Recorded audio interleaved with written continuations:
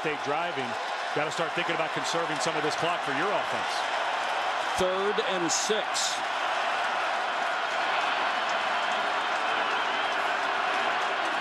Miller under pressure.